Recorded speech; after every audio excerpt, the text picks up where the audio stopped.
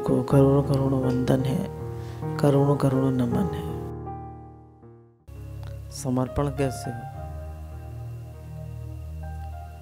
अगर हम दुनिया को ऑब्ज़र्व करें तो जैसे कबीर दास जी ने कहा, दो पाटन के बीच में पिस रहा संसार।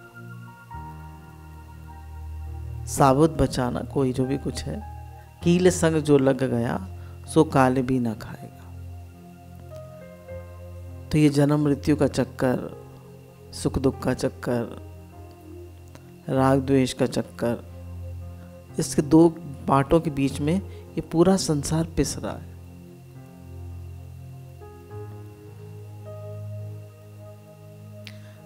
अगर हम देखें, जीवन को ऑब्ज़र्व करें तो एक बच्चा पैदा होता है, ठीक? बड़ा होता है, तीन साल का होता है घर में ही देख रहे हैं। तीन साल का होता है तो उसको छोटे स्कूल में डाल दिया जाता है। ए सीखो बी सीखो काखा गा सीखो वन टू थ्री सीखो। सीखो सीखो सीखो सीखो, पढ़ो पढ़ो पढ़ो। उसको पढ़ाई में लगा दिया जाता है। अगर सत्संग होता है घर में तो बच्चों को भगवान का थोड़ा नाम, थोड़ा कन्हैया से थोड़ा जोड़ देते हैं, थोड़ा। पर फिर भी मेन स्ट्रेस पढ़ाई पे ही रहता है। तो बच्चा पढ़ता है, फिर लड़का है तो नौकरी करता है या बिज़नेस करता है। लड़की है तो उसकी शादी हो जाती है। वो भी आजकल जॉब करने लगी है, वो भी जॉब करती है। फिर उनके बच्चे होते हैं, फिर वो अपने बच्चों को सेटल करते हैं, ठीक? पहले हमने अपने बच्चों को सेटल किया, फिर वो अपने बच्चों को सेटल करते हैं। फिर उनके बच्चे होते हैं फिर वो अपने बच्चों को सेटल करते हैं। तो जन्म मरण के चक्र में सब घूमते रहते हैं, घूमते रहते हैं, घूमते रहते हैं। तो गुरु बता रहे हैं, दो पाटन के बीच में पिस रहा संसार। दो पाठ जो है, जन्म मरण जन्म मरण, उसके चक्र में हम आते रहते हैं, जाते रहते हैं, आते रहते हैं, जाते रहते हैं। अगर हम जीवन को विचार करके देखें तो ये क्रम चलता रहता है या नहीं?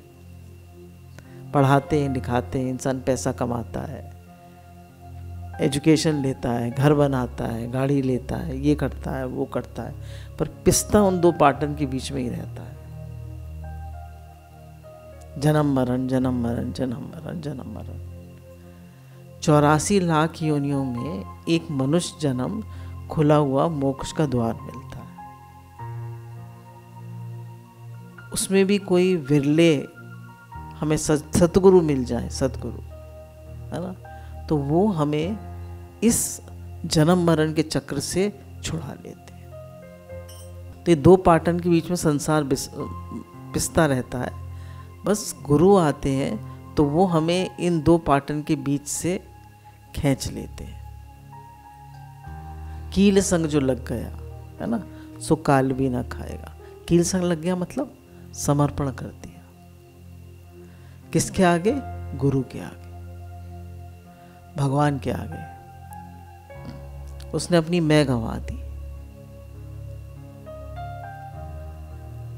उसने अपना अहम खत्म कर दिया। उसने कहा मैं नहीं हूँ। हे ही भगवान समर्पण क्या है? मैं भगवान का हूँ भगवान मेरे। यही समर्पण जब गीता का अंत होता है हाँ, अर्जुन कहते हैं, नष्टो मोहा स्मृति लपता तो मैं, मेरे मोह का नाश हो गया है, मैं अपने को अर्जुन समझता था और शरीर समझता था। अब मैंने जान लिया है, मैं आपका हूँ और आप मेरे मेरा मोह नष्ट हो गया और स्मृति लब्धा, मुझे स्मृति हो गई है कि मैं कौन हूँ, मैं क्या हूँ मेरा लक्ष्य क्या है? मेरी मंजिल क्या है? मुझे जाना कहाँ है? तो अपनी मंजिल की ओर चल देता है। देखिए, बिना गुरु के तो हमारे कोई डायरेक्शन ही नहीं है। जैसे एक आदमी बैठा ना गाड़ी में ड्राइवर से कहा, चलो कहाँ जाना है? बोले, ये तो मुझे पता नहीं, पर तुम चलो। चलो बस। बोला, जाना तो कहाँ ये तो बताइए। बोला, नहीं, बस तुम चलो। ऐसी हम सबकी हालत है, बिना गुरु के। दुनिया की यही हालत है। हर आदमी भाग रहा है, पैसा कमाना है, बड़ा आदमी बनना है, पढ़ना है, लिखना है, ये करना है, वो करना है, भाग रहा है। चाहिए क्या? What you want what is the goal of your life what is your aim चाहिए क्या? आखिर तुम्हारा लक्ष्य क्या है? तो गुरु कहता वो कहता है, पैसा कमाना। गुरु कहते हैं, पैसा कमाना कोई लक्ष्य नहीं है। क्यों? सब यहीं छूट जाए। पर बड़ा घर बनाना, ये जैसे आदमी गुरु जी के पास जाता है तो गुरु जी से पूछता है कि गुरु जी मैं पढ़ लिख गया हूँ। गुरु कहते हैं, तुम जीवन से क्या चाहते हो? तो बड़ी सी लिस्ट बना के देता है, ये ये ये, गाड़ी, कंप्यूटर, लैपटॉप, फलाना, दिमाग का, बड़ा सा घर, सुंदर। सब बहुत सारी चीज़ें लिखता है। काट देते हैं गुरु। गुरु कहते हैं, तुम्हें सिर्फ़ चाहिए पीस ऑफ़ माइंड तो पूछो अपने जीवन से, मेरे जीवन में शांति है? मेरे जीवन में प्रेम है, शांति है। मेरे जो, हमारा जो स्वरूप है, वो आनंद स्वरूप, शांत स्वरूप, प्रेम स्वरूप है, वो गुण मेरे अंदर हैं।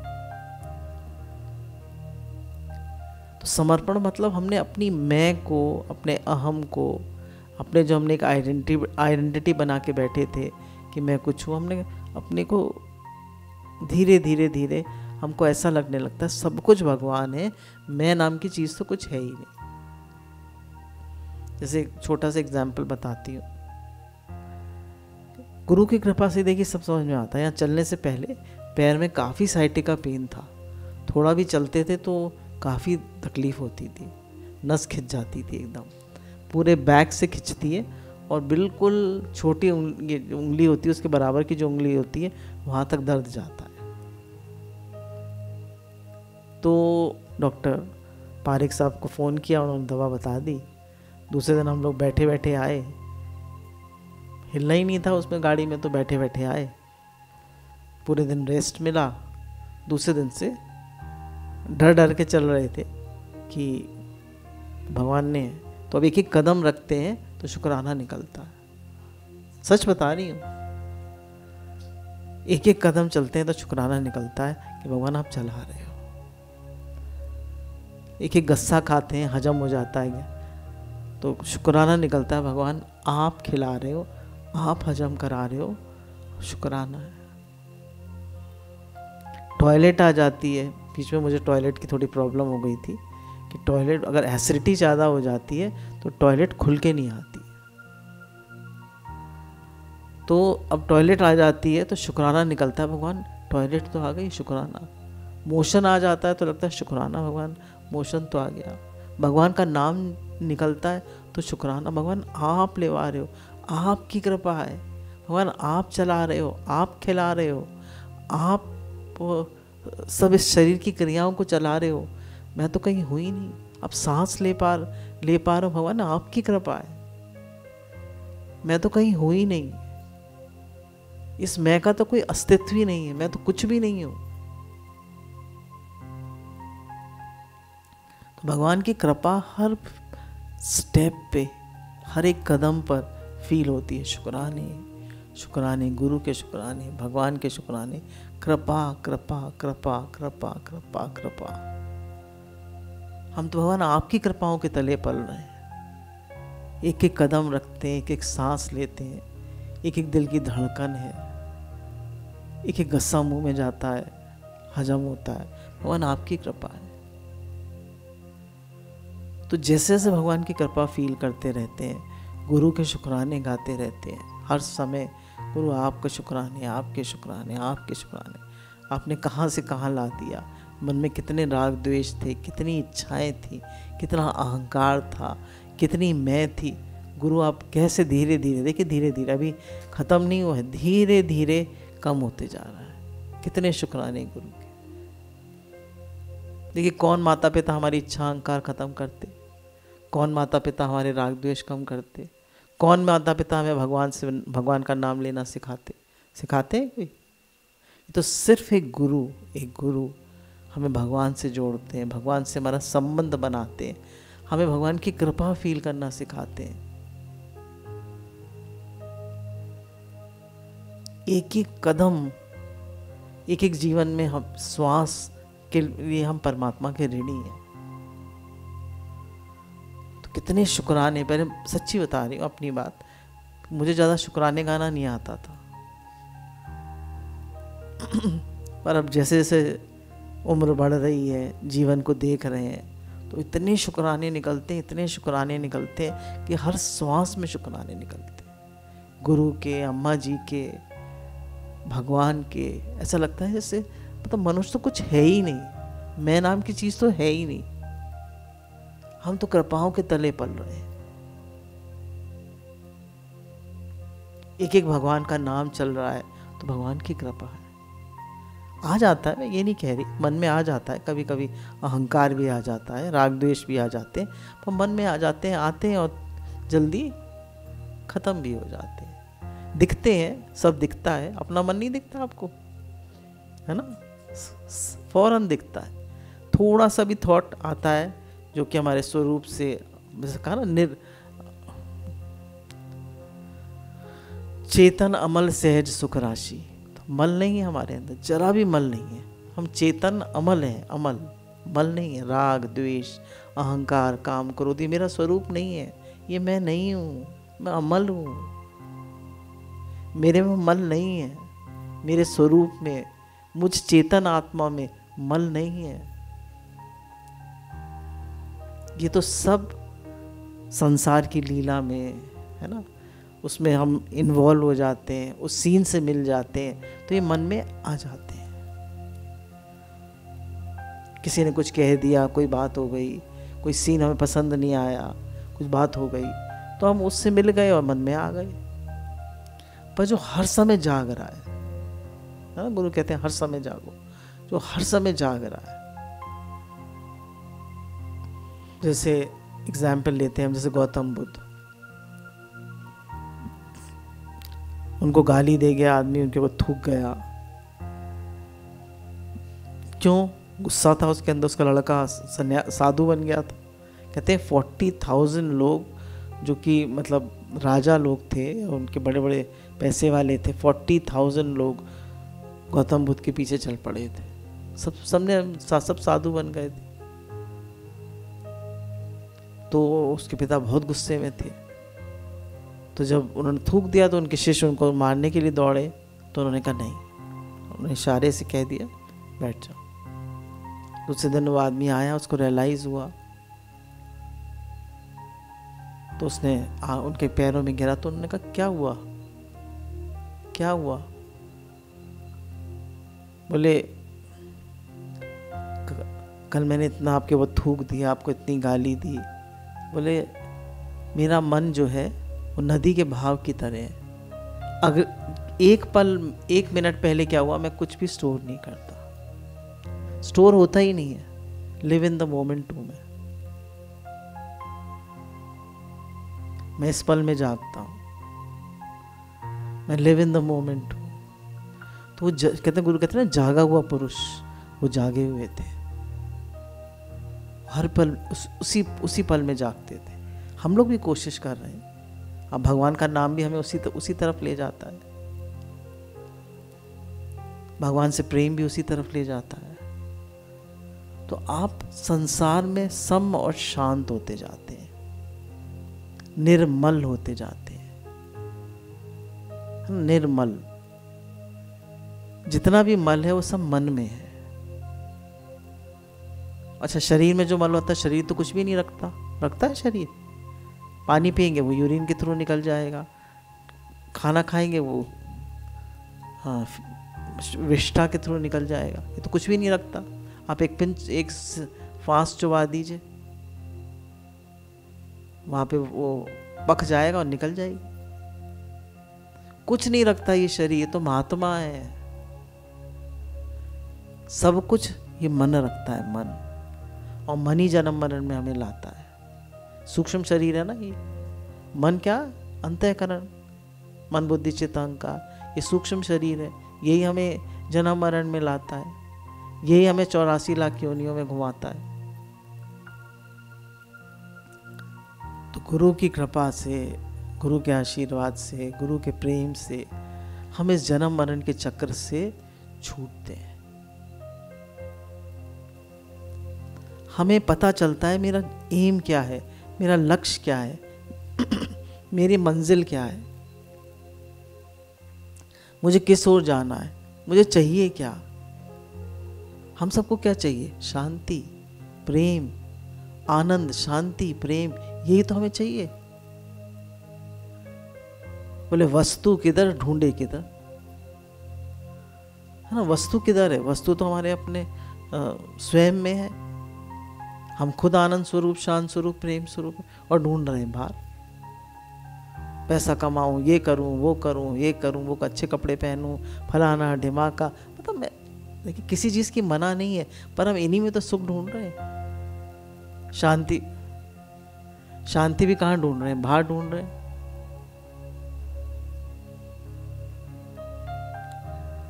तो सब कुछ हम बाहर ढूंढ रहे हैं, पर है सब स्वयं में।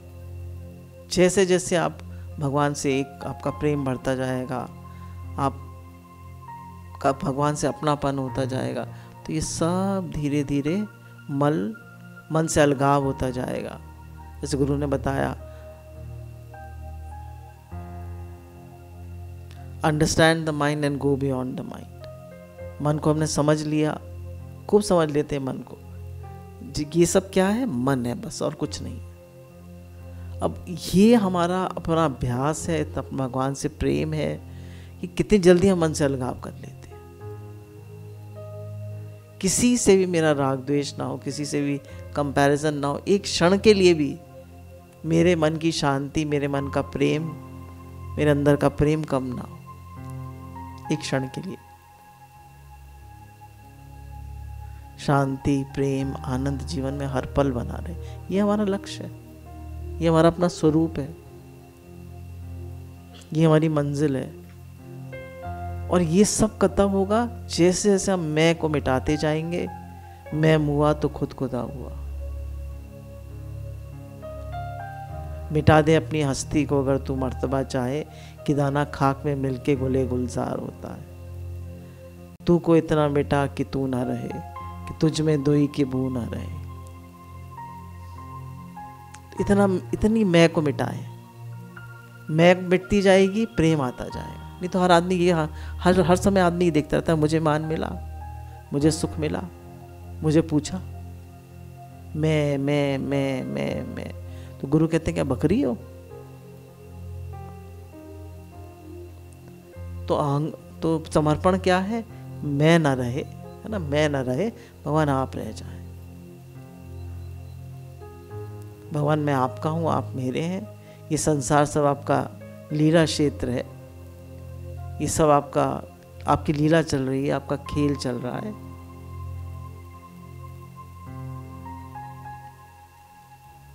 भगवान कह रहे हैं ना, अर्जुन से, हे अर्जुन, तू मुझे ही नमस्कार कर, मुझे ही प्रणाम कर। तो मेरे ही समर्पित हो जा। मैं तुझे सब तापों से, सब पापों से मुक्त कर दूँगा।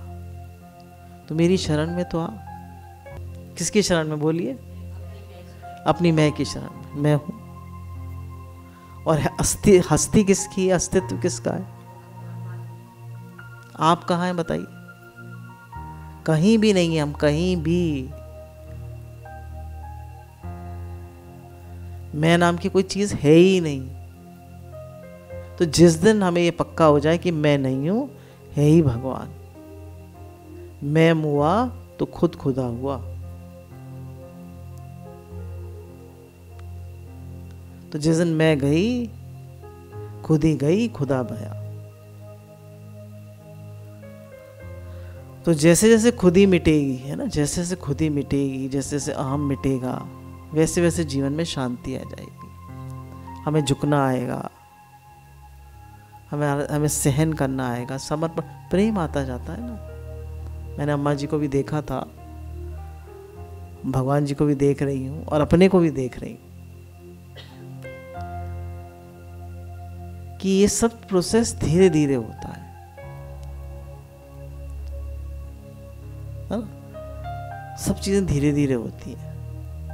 धीरे धीरे हमारी मैं गलती जाती है। बहुत अहंकार होता है। मुझे मुझे ऐसे कह दिया। हमारे मन में बहुत सारा, बहुत पोजेसिवनेस होती है, मेरे पति। ये सब जो इतना बड़ा सत्संग का दायरा है और इतना सब ये पूरा मतलब चल रहा है तो इसमें कितने सारे पेन्स एंड मन के, देखिए मैं कहते मन और अहम के को कितनी बार गंवाना पड़ता है। आपको लगता है तो बहुत मान सम्मान मिलता है, बहुत वो मिलता है पर कितने कितने पेन्स और कितने सफरिंग से आदमी गुजरता है। कितनी मैं को अपने वो गंवाना पड़ता है। जो चीज़ें आपको पसंद नहीं होती हैं, वो आपके सामने होती हैं। आपको अच्छी नहीं लगती है। पर धीरे धीरे आपको हर चीज़ की एक्सेप्टेंस आती जाती है, हर चीज़ की। All are learning lesson all तो ये सब हर चीज़ आपको ग्रो करा रही है। हर चीज़ आपको इवॉल्व करा रही है। हर स्टेप जीवन में आपको इवॉल्व करा रहा है। हर उल्टी परिस्थिति आपको इवॉल्व करा रही है। हर दुख आपको इवॉल्व करा रहा है। इवॉल्व समझते हैं ना? आपको आपको राइज करा रहा है।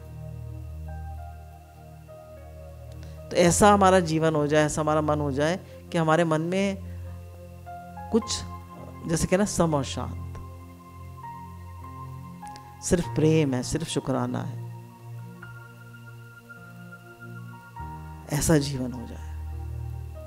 मन में कोई जैसे हलचल आती है तो इतनी बातें आती हैं मन में, है ना पास्ट की फ्यूचर की, इसकी, उसकी। जैसे लोगों ने प्रश्न किया, भाई, अब हमारा लास्ट में क्या होगा? हॉस्पिटल तो नहीं जाना पड़ेगा। इंजेक्शन तो नहीं लगेगा। मुझे कितने इंजेक्शन लगते हैं रोज़? कितनी बार मुझे शुगर टेस्ट करनी पड़ती है। मैं ये सब बातें खैर कभी कहती नहीं हूँ, कहने की भी नहीं है, शरीर की है। अपनी अपनी प्रारब्ध है। मैं तो फिर फिर भी कहती हूँ, भगवान हमने बहुत अच्छे से रखा है।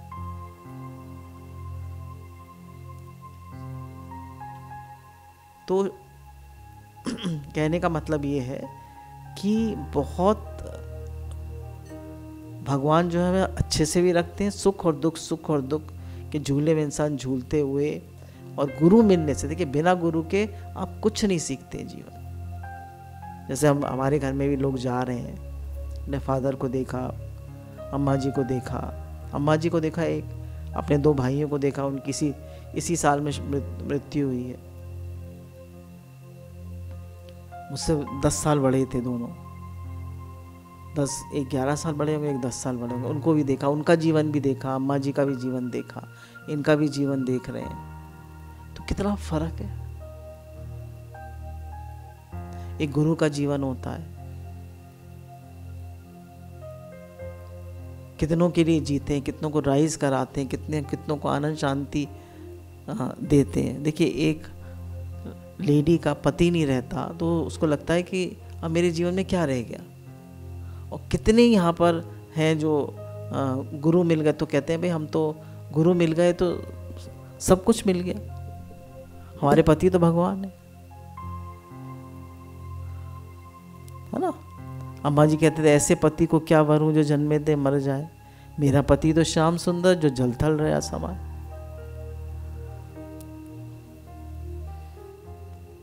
तो गुरु हमारा उनसे संबंध जोड़ देते हैं, उन परमात्मा से। उन अविनाशी से, उन चेतन से, जिनके हम हैं, जिनसे हम आए हैं। ईश्वर अंश जीव अविनाशी, चेतन अमल सहज सुख राशि। हम उन्हीं के अंश हैं। ममे वांशो जीव लोग के जीव भूते सनातना। हम उन्हीं के हैं। हम उन्हीं से आए हैं। उन्हीं से मिलकर एक होना है। तो जिस दिन हम उनसे मिलकर एक हो जाएँगे तो हमारी मतलब हमारा यही हमारी मंजिल है। परमात्मा ही हमारी मंजिल है। तो हर पल हमें भगवान याद रहे हर पल हमें उन उनके लिए शुक्राना उनकी याद उनका प्रेम उनकी स्मृति हर पल बनी रहे। हमारे जीवन में कोई आग्रह कोई इच्छा कोई अहंकार धीरे धीरे न, न रह रहे। अमल है अमल मल रहे थे मेरे जीवन में कोई मल ना हो। कैसे हो गए? गुरु की कृपा से भगवान की कृपा से। गुरु के प्रेम से। हमारे जीवन में जितनी श्रद्धा होगी, जितना प्रेम होगा, है ना, अंदर में प्रेम होगा तो धीरे धीरे हमारे मल गलते जाए। किसी को ना देखो। कोई दूसरा है ही नहीं। अदर इज़ हेल दूसरा बना ही नहीं है। दूसरा होता ही नहीं है। है दूसरा? आप बताए एक ही परमात्मा है। एक ही एक ही परम तत्व है। और अगर हम घरों में देखें तो दो लोग दो भाई सत्संग में आते हैं तो प्रेम नहीं होता है। दो बहनें आती हैं तो प्रेम नहीं होता है। दो दरानी जेठानी आती हैं तो प्रेम नहीं होता। क्यों? क्यों? एक बार गीता भगवान एक किसी के सत्संग करने गए तो उनको लगा मुझे अच्छा सा नहीं लग रहा है यहाँ पे। कुछ वाइब्रेशन ठीक नहीं है। तो उन्होंने पूछा, ऊपर कौन रहता है? तो उन्होंने कहा, मेरी जिठानी रहती है। तो उन्होंने कहा कि, वो सत्संग में नहीं आई? तो उन्होंने कहा कि, नहीं। बोले से चलो, तुम उससे कहना कि मेरे लड़के को की तबीयत बहुत ख़राब है और उसको बहुत तेज़ बुखार हो रहा है, मुझे थर्मामीटर चाहिए। तो गीता भगवान ने उसको भेजा तो वो साथ में नीचे आ गई। देखिए, प्रेम सबके अंदर होता है। साथ में नीचे आ गई। तो उसने कहा, देखो तुम्हारे लड़के को। उसके लड़के को वाकई में बुखार था तो थर्मामीटर लेके वो भी आ गई। तो फिर उसने सत्संग सुना। तो वो जिसके घर सत्संग था, वो अच्छे पैसे वाले थे जो ऊपर रहते थे वो शायद थोड़े करीब थे। तो मतलब उनके पास कम पैसा था तो इसलिए आपस में राग द्वेष था। पैसे के लिए राग द्वेष होता है। क्या करोगे पैसे का? अरे, ज़्यादा मांग रहा है, ज़्यादा दे दो। क्या हो गया?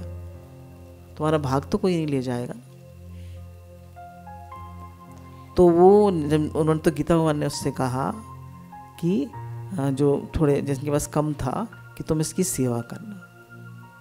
और जिसके पास ज़्यादा था उससे कहा कि तुम इसको हमेशा दे के रहना तो इसके लिए करना। तो बाद में उसको तो, उस कैंसर हो जाता है जिसके पास बहुत पैसा होता है। तो उसकी देवरानी ही उसकी सारी सेवा करती है। उसके बच्चे तो बाहर थे, अमेरिका यूके यूएसए और इधर उधर, कोई नहीं आया। पता, आए, देख के चले गए। सारी सेवा उसने कर।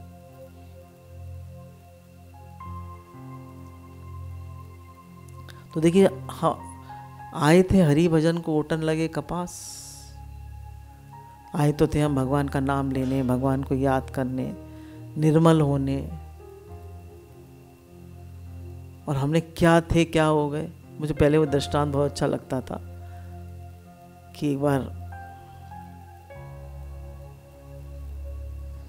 एक आर्टिस्ट होता है तो उसके मन में आता है कि मैं एक पेंटिंग बनाऊँ, बच्चा बिल्कुल भगवान कृष्ण की तरह लगता हो। तो पेंटिंग बनाता है, बहुत उसकी बिकती है, बहुत पसंद आती है। उसको बहुत खुश होता है। काफ़ी साल बीत जाते हैं, बहुत साल बीत जाते हैं। और पेंटिंग बनाता रहता है, उसकी बिकती रहती है। फिर एक दिन उसके मन में आया कि मैंने एक बच्चे की पेंटिंग बनाई थी जो बिल्कुल भगवान जैसा लगता था। अब मैं एक ऐसे आदमी की पेंटिंग बनाऊँ जो शैतान लगता है। बहुत देखता है, उसको कोई नहीं मिलता, समझ में नहीं आता। फिर जेल में जाता है। तो उसको एक आदमी शैतान जैसा लगता है। तो उससे कहता क्या मैं आपकी पेंटिंग बना सकता हूँ? तो कहता है हाँ बना दीजिए तो उसकी पेंटिंग बनाने लगता है तो आदमी रोने लगता है फूट फूट के। कहता रो क्यों रहे कहता आपने एक बार एक बच्चे की पेंटिंग बनाई थी ना? कहता हाँ तो वो बच्चा मैं ही।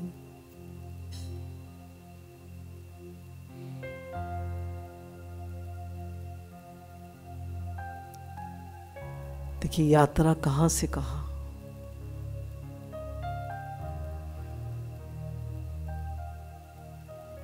मनुष्य क्या होता है? बच्चा पैदा होता है है ना? क्या से क्या हो जाता है?